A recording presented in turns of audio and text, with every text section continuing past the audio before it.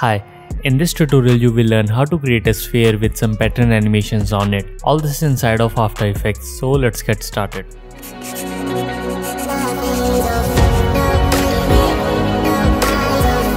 So I'm in After Effects and I've already created one composition and I'm going to create one more. Let's call it pattern and width and height 1920 by 1080 just like this and over here I'm going to create a solid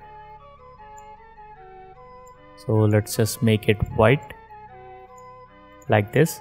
And now I'm going to create a line using the pen tool. So just draw a simple line something like this. And you can change the stroke color to whatever you want and just add some stroke to it. So after that just go under the add and we're going to add the zigzag path. Make sure the fill is set to none. And after that we are going to change the size. So just play around with it and you can change the number of segments. So after that you can go to add and add a repeater.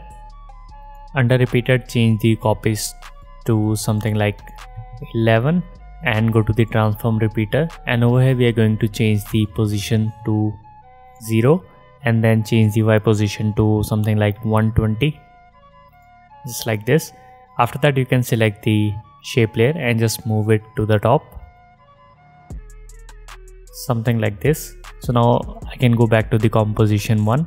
And over here we are going to create a solid. Just like this. And just quickly drag the pattern on top of it. And on this one we are going to search for an effect called CC sphere. And just drag it on top of this pattern layer. And it will give you a nice sphere so you can increase its radius something like this. And now let's select the white solid and I'm going to add a gradient ramp and just change it to whatever colors you want to use. I'm going to use a radial ramp. So this is looking good. So over these see under the CC sphere you can change the few options such as light. Can increase the intensity. You can also change the height of the light depending upon what you want to go for. And under the shading you can play around with these different options to get different looks however you want to go for. So once you're happy with that you can simply animate it by using the rotation properties. So you can use it to rotate around anywhere you want just like this. For this one we are going to use the y rotation. So just add a keyframe and at the end just change this to 1 so it will do a one complete revolution just like this. And now in order to add the shadow you can simply select this layer then press ctrl d to duplicate it and make this layer 3d after that you can press r on the keyboard and you can just change the rotation. So just change the rotation to something like this and you can move it down over here. After that you can search for fill just drag on top of it and change its color to black. And now search for Gaussian blur. Just apply on top of it and you can change the blur amount to quite high something like this. And select the layer press T to lower down its opacity just like this. And you can probably move the sphere something like this and you can also change the rotation. So now you have this animation. You can also add some other animations to it. So let's just select both of them. And I'm going to press P for position. And on this one we are going to animate the position.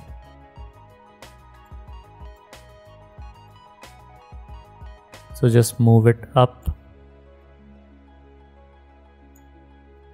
and down just keep on doing it. Just like this.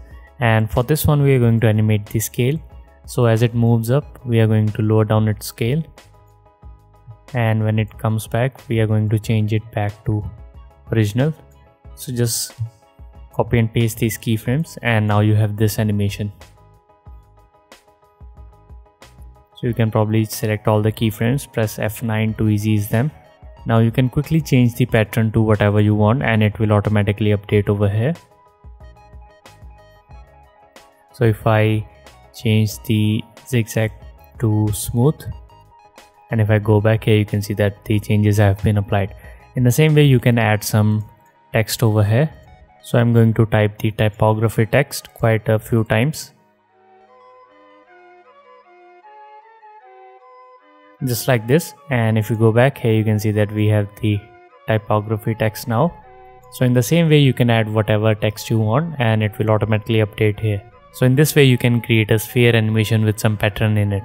With that being said this is Abhishek and I'll see you in the next one